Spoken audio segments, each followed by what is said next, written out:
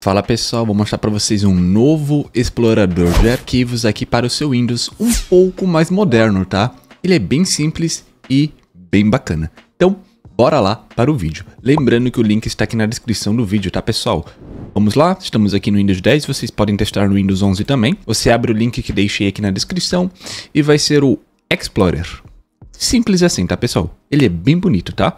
Então, vamos aqui para cima, você aperta aqui em Downloads, né?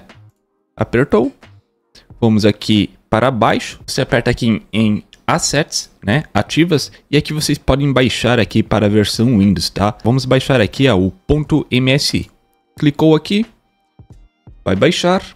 Vamos clicar aqui em abrir o arquivo. Ok, está preparando a instalação, aperte em Next, aceitar temos, Next, Next, instalar. Vai pedir aqui para você permitir, né? Como administrador, você permite. Aqui você clica em sim e já mete o dedão no gostei, inscreva no canal, ative o sininho aí, comente no vídeo que isso ajuda demais o engajamento do vídeo e do canal, tá pessoal? Ok, terminou de instalar, é bem rapidinho também. Você aperta aqui em finalizar e show de bola.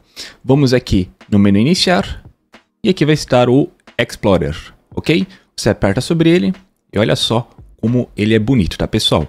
Pode ser que a primeira vez quando você abrir ele, ele demora um pouquinho, tá? É só você aguardar e show de bola. Esse aqui vai ser o seu novo explorador de arquivos, tá? Como você abriu ele aqui, ó, vocês podem clicar com o botão direito do mouse sobre ele e fixar aqui na barra de tarefas. Então vocês podem utilizar ele ou a versão padrão aqui do Windows novamente, caso você queira, né? Então, vamos lá. Ele é bem simples. Aqui tem o estilo Mac, né, pessoal? Vocês podem minimizar, ok? É, maximizar ou fechar ele aqui, ó. Ou utilizar os atalhos, né? Como vocês podem ver ele aí. Vamos abrir novamente. Show de bola. Aqui vai mostrar os seus favoritos, né? Para vocês colocarem. Página inicial, recentes, área de trabalho, documentos, downloads, imagens, músicas, vídeos e lixeira também, tá? Aqui unidades, né? Seu disco local C, o SSD, disco local D e disco local E, caso você tenha. Beleza? Aqui vocês podem criar abas, ó, aperta no maisinho e vai abrindo várias abas aqui. A primeira aba que vocês podem abrir, por exemplo, documentos, só dar um duplo clique. A segunda aba vocês podem abrir é, fotos, ok?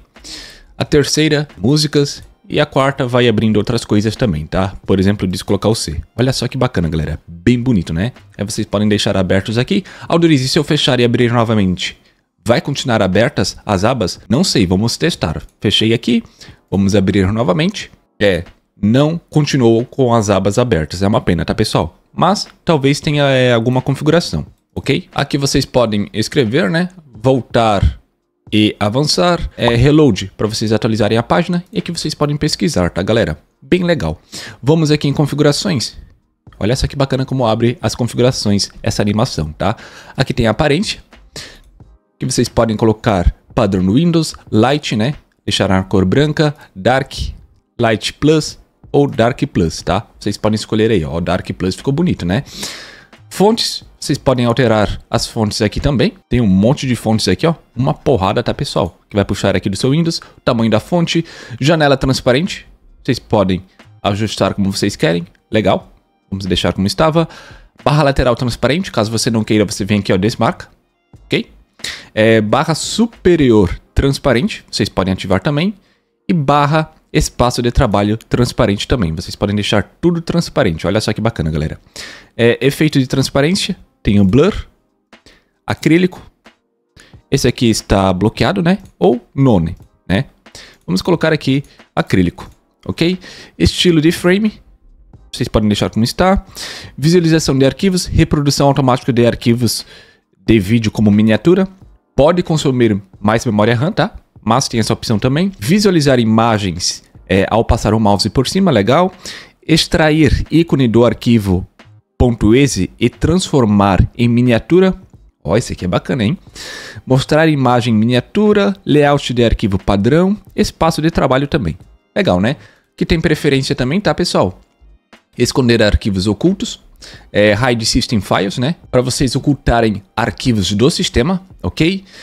Ordenar diretórios juntamente com arquivos, detectar mudança de unidade, O próximo aqui, alterar automaticamente o arquivo de visualização, né? No preview. O próximo aqui, clicar duas vezes para abrir é, itens na seção da barra lateral.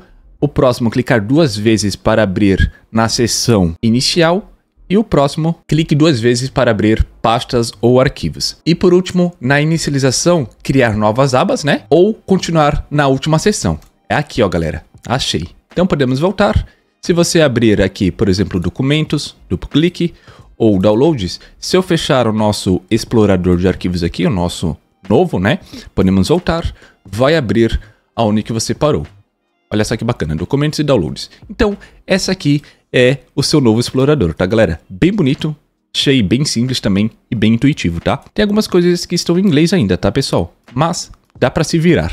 Espero aí que você tenha gostado, valeu, falou!